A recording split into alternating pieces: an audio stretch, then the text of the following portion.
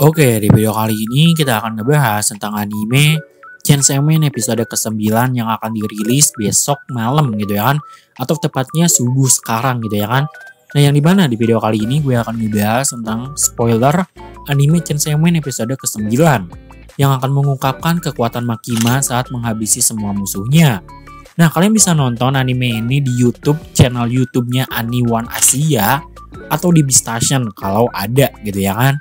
Nah, Chainsaw Man episode sebelumnya memperlihatkan kemunculan Katana Man dan Akane Sawatari yang mengincar jantung Denji. Nah, kalau kalian penasaran kenapa sih si Denji ini diincar, kalian bisa nonton video gue di playlist anime Chainsaw Man. Denji dan Himeno terkena luka tembakan, sedangkan Aki tak berdaya berhadapan dengan Katana Man.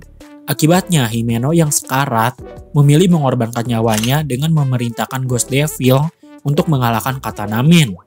Jadi Himeno ini dia ini mati bukan dikarenakan katana men, tapi diambil oleh si Ghost Devil yaitu iblis yang terikat kontrak dengannya. Akan tetapi ya usahanya itu tak berhasil. Akane berhasil mencegahnya dengan kekuatan Snake Devil. Gila banyak sekali iblis di anime Chainsaw Man gitu ya kan. Kalau kalian setuju gue bahas satu-satu komen aja di bawah oke. Okay? Nah anime Chainsaw Man episode ke-9 dijadwalkan tayang pada Selasa 6 Desember 2022 pukul 11.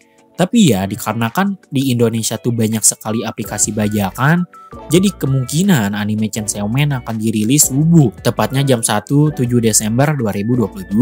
Episode ke-9 Chainsaw Man akan dimulai dengan Denji yang berubah ke dalam wujud Chainsaw Man.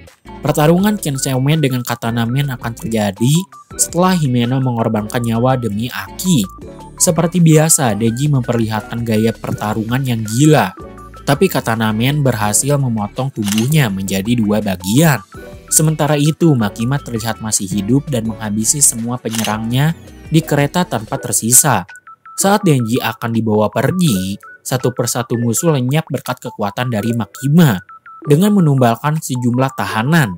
Episode ini kemungkinan akan menampilkan Kobeni saat menyerang dua musuh tersisa Akane dan juga Katana Men.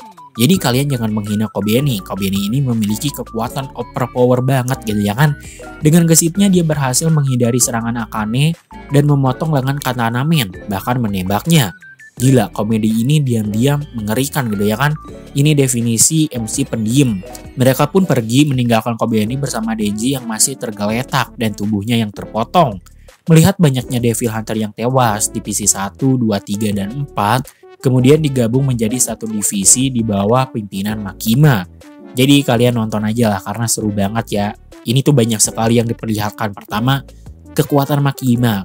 Kedua, Denji yang pertama kalinya kalah. Ketiga, Kobeni yang MC sesungguhnya gitu ya kan. Kobeni ini MC sesungguhnya gitu guys ya. Jadi kalian jangan berharap Denji adalah MC, anjay. Nah terima kasih mungkin segitu aja untuk pembahasan kali ini tentang Chainsaw Man episode ke-9. Terima kasih buat kalian yang udah nonton sampai habis. Jangan lupa like, comment, dan subscribe. See you next video.